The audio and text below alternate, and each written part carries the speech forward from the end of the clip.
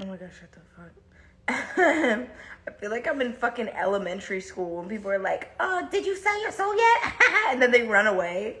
It feels like it's a bunch of like seven year olds being like, "Hey, Doja, did you sell your soul?" And then they run as fast as they can away from me. And they start snickering in the corner. It's the same energy. Bitch, you'll get exposed. What the fuck do you mean? Why are you different now? Shut the fuck up. Someone goes, Oh my god, this isn't Doja no more, or some shit. What the fuck did that bitch say? Bro, this isn't Doja no more. No, it's not.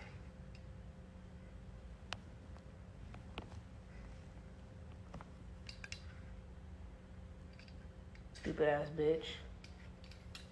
No, it's not. Change the change the fucking leave.